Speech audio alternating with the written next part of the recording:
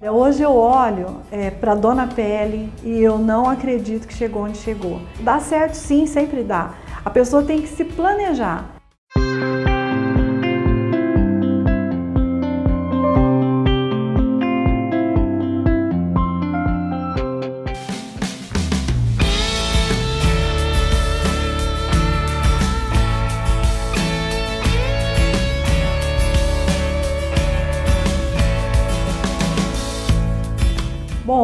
Eu, vinha já de um ramo de, de serviços de depilação. Eu comecei com isso há mais de 30 anos.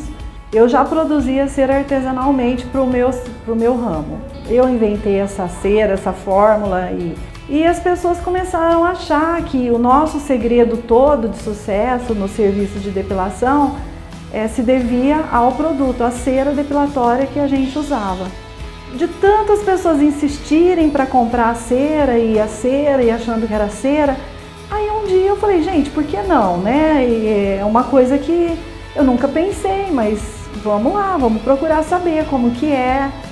E procurei o escritório aqui, junto com isso encontrei a incubadora de empresas aqui de Jardinópolis e a gente foi adequando essa, essa cera, que não mudou muito, que é um produto natural, não agressivo, com pH adequado para pele humana, é, vegano, nós não usamos nada de origem animal. A incubadora tem um período, né? No, você não pode ficar lá eternamente. Na, e a gente precisa sair de lá, a gente tem que sair para um outro lugar maior para conseguir continuar, porque a incubadora é como se fosse um útero, né? O útero da mãe.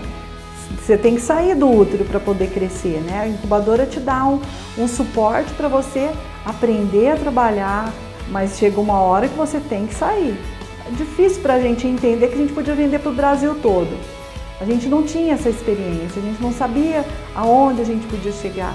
Olha, nós tivemos o apoio do Sebrae desde o início, porque dentro da incubadora tem uma base do Sebrae que sempre que a gente precisou e eles chamam a gente para curso e o principal que eu, que eu considero assim o, o, o marco da minha, da minha do meu crescimento foi um curso de gestão financeira que eu fiz ali dentro mesmo da, da incubadora ali.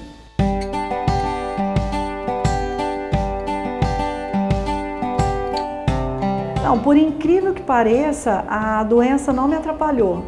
Eu não fiquei um dia sem trabalhar, mesmo nos dias piores da, da, da, da quimioterapia.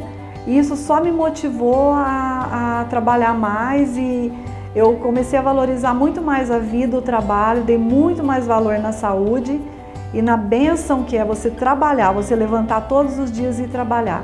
Então a nossa, a nossa dificuldade talvez esteja em vender mesmo em fazer esse produto chegar de um, num, em um preço que a pessoa consiga trabalhar.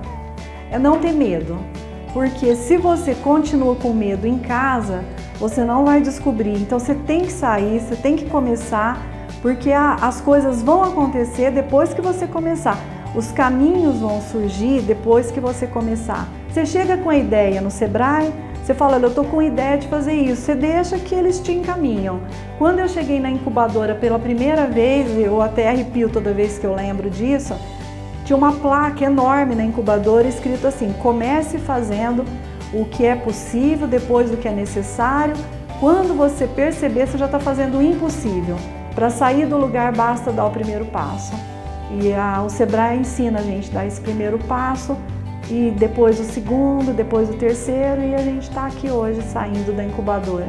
E eu falo, gente, então quer dizer que a minha cera lá atrás, quando eu fazia a, nas casas de depilação, é, que as pessoas elogiavam a cera, realmente era, era isso mesmo, quer dizer, o segredo está realmente na cera.